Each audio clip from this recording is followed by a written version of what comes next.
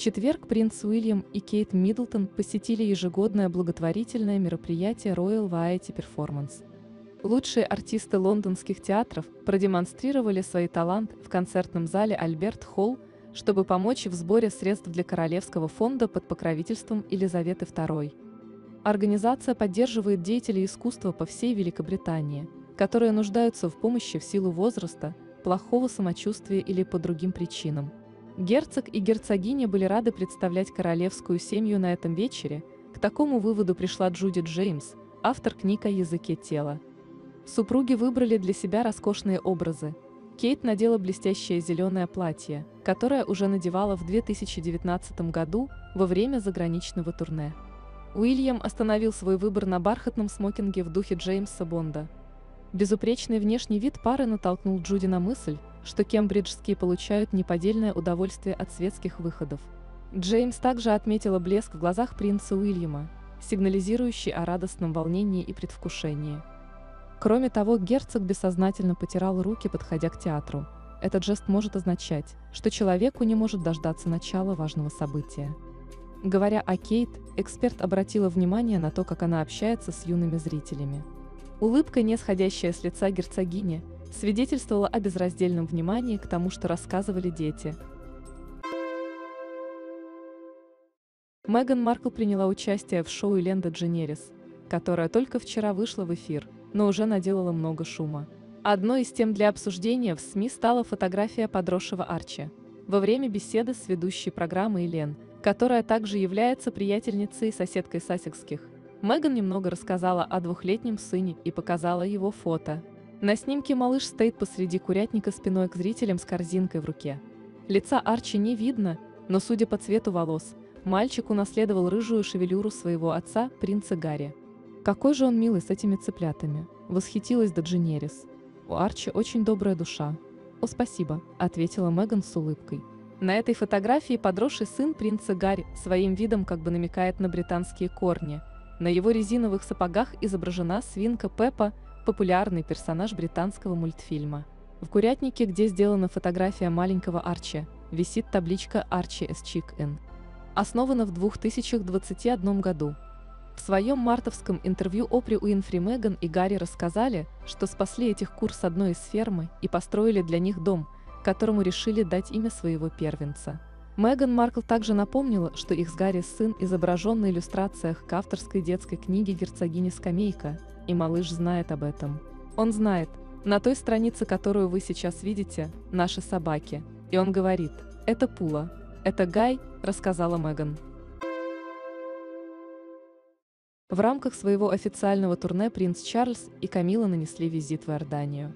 Они приняли участие в торжествах по случаю столетней годовщины со дня основания королевства. Мероприятие прошло в Национальном музее в Омане.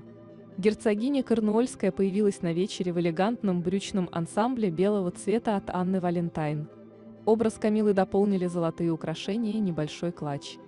Принц Вельский выбрал для себя классический темно-синий костюм-двойку. Супруги прибыли в сопровождении посла Великобритании Бриджит Бринте и принца Иордании Гази бин Мухаммеда. Сначала Чарльз и Камила насладились выступлением Махали US Production, а после встретились и пообщались с другими гостями. Также в рамках празднования они посетили художественную выставку «Возрождение и модернизация вымерших искусств и ремесел» и осмотрели древние свитки Мертвого моря. По словам очевидцев, принц и его супруга остались довольны приемом. Накануне днем Чарльз и Камила посетили руины древнего города Гадара, процветавшего в третьем веке до нашей эры. Считается, что именно здесь, на севере Иордании, Иисус сотворил одно из своих чудес. После экскурсии по главному амфитеатру и музею в сопровождении принцессы Иордании Даны Ферраса пара вернулась в столицу, где герцогиня Корнуольская провела два мероприятия, посвященных расширению прав и возможностей женщин – Принц Уэльский, в свою очередь, встретился с беженцами в специализированном центре. После того, как Меган Маркл и принц Гарри покинули дворец и переехали жить в Америку, они, по мнению многих экспертов, хоть и сложили с себя королевские полномочия, постоянно используют свой статус в коммерческих целях. Сообщается, что сасекские хотели получить больше свободы, однако полностью от своей королевской роли отрекаться не собирались. По утверждениям инсайдеров, Меган и Гарри планировали сократить число королевских обязанностей, что позволило бы им заниматься своими собственными независимыми проектами. Но при этом остаться при своих официальных полномочиях в военных, художественных, спортивных организациях и в Содружестве. Их первоначальная идея заключалась в том, чтобы иметь третий вариант принадлежности к королевской семьей. Но королева сказала четко, нет, вы не можете этого сделать. Это вы работаете на монархию, а не монархия на вас, рассказал источник. После озвученного желания Меган Маркл и принца Гарри навсегда покинуть Британию, было решено, что они лишаются всех своих королевских покровительств. Они Гарри и Меган уважают это решение, но ясно дали понять, что не отказываются от выполнения этих ролей, добавил инсайдер. В различных сообщениях за последние несколько месяцев утверждалось, что некоторые из полномочий, оставленных Сассекскими, будут переданы жене принца Уильяма, Кейт Миддлтон. Сообщалось, что герцогиня Кембриджская возьмет на себя покровительство над регбийным союзом и футбольной лигой регби. Однако официально это не подтверждено. В минувшие выходные внимание всех мировых таблоидов было приковано к двум королевским невесткам – Кейт Миддлтон и Меган Маркл. Герцогини порадовали поклонников своими яркими выходами в свет – Возможно, ни герцогиня Кембриджская, ни герцогиня Сассекская даже не подозревают, что стали участницами своеобразной битвы популярностей. Однако фанаты обеих жен британских принцев всколыхнули сеть своими спорами. По мнению поклонников королевской семьи, Кейт Миддлтон больше подходит звание народной принцессы, тогда как Меган Маркл, безусловно, обладает голливудским шиком. Когда королева Елизавета II из-за растяжения спины не смогла присутствовать на воскресной службе памяти – Центральное место в королевской ложе достойно заняла жена принца Уильяма. Герцогиня выглядела безупречно в черной шляпе и любимом пальто от Александр Маквин, украшенном бутоньеркой из маков. Жена принца Гарри же блеснула своим голливудским шиком на другом берегу океана. Нагала уже не в честь военных ветеранов в Нью-Йорке. На Меган Маркл было ярко-алое платье от Каролины Хаэра с глубоким декольте и высоким разрезом, подчеркивающим ноги. Кейт Миддлтон – народная принцесса, которой могла бы стать и Меган Маркл, но она предпочла голливудский статус королевскому. Однако и то, и другое не могут существовать одновременно, написал один их интернет-пользователей в Твиттере. Тогда как выход Меган Маркл модный глянец Vogue назвал свежим взглядом на королевский стиль. У экспертов есть свое мнение на этот счет. Они считают, что Меган Маркл вскоре оставит в прошлом не только королевскую жизнь, но и огни Голливуда – и посвятит свою жизнь политике.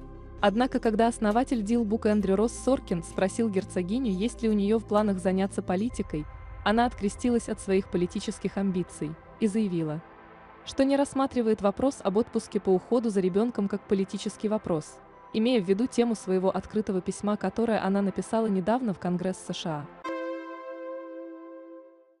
Саманта Маркл, единокровная старшая сестра герцогини Сассекской, была потрясена, когда узнала, что Меган сотрудничала с авторами книги Гарри и Меган «Обретение свободы». Ведь в этой, как теперь выяснилось, санкционированной биографии Меган Маркл и принца Гарри содержится. С точки зрения Саманты, масса лживых утверждений в ее адрес, и все они переданы автором ее сестрой Меган. Как сообщает издание Sunday People, Саманта Маркл намерена подать на герцогиню Сассекскую в суд за клевету и нарушение конфиденциальности. Причем как в США, так и в Великобритании, и уже встретилась с адвокатами-специалистами по праву и той и другой страны. Она сказала Sunday People, «Я разговариваю с одним юристом в Англии и одним в США, поскольку законодательство в этих странах имеет существенные различия, в том числе в сроках подачи исков». Саманта Маркл, которой сейчас 57 лет, сказала – что когда в минувшую среду узнала об извинениях Меган перед апелляционным судом и ее скандальном признании в сотрудничестве с авторами книги «Обретение свободы», она была в шоке. Напомню, признание герцогини Сассекской последовало после того, как ее экс-помощник по связям с общественностью Джейсон Кнау дал показания о том, что Меган передавала ему информацию для Амида Скоби и Кэролайн Дюран, в том числе о своих единокровных братья и сестре Томасе Эмель.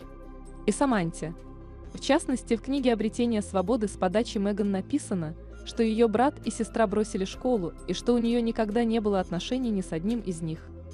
Кроме того, цитирую так, как написано в книге от третьего лица. После того, как Меган начала встречаться с Гарри, Саманта сменила фамилию на Маркл и начала карьеру, создавая истории о сестре для продажи прессе. Саманта потеряла опеку над всеми тремя своими детьми от разных отцов. Меган не разговаривала с Самантой с момента встречи с принцем Гарри в 2016 году. Саманта, которая оспаривает ряд утверждений Меган, сказала, «Я собираюсь подать на Меган иск в суд за клевету в США. В Великобритании я рассматриваю иск за нарушение закона о конфиденциальности личных данных. Поскольку в Великобритании установленный законом срок для подачи иска за клевету составляет один год с момента появления клеветнической информации, а год со дня выхода книги Гарри и Меган. Обретение свободы уже прошел. Саманта намерена привлечь к судебному процессу и Джейсона Кнауфа. Джейсона Кнауфа можно вызвать в суд. Сообщения, отправленные ему, являются доказательством того, что Меган оклеветала меня. Это просто ужасно. Саманта Маркл прикована к инвалидной коляске. С 2008 года она страдает от рассеянного склероза. Кстати, ранее она считала, что именно из-за ее инвалидности Меган не пригласила ее на свою свадьбу с принцем Гарри. Отвечая на те сообщения, которые были опубликованы в обретении свободы, Саманта рассказала, «Я никогда не теряла опеку над своими детьми. Меган также сказала, что я сменила фамилию, когда она встретила Гарри, но есть документы о смене фамилии. Я сделала это задолго до появления Гарри в жизни Меган, после своего первого развода, сменила фамилию Грант на девичью Маркл. У нас моего отца, моего брата, у меня абсолютно нормальная семья, но Меган изначально хотела, чтобы мы выглядели чужими друг другу людьми и подчеркивала это в своих интервью, чтобы дискредитировать нас и иметь предлог не приглашать нас всех на свадьбу с Гарри.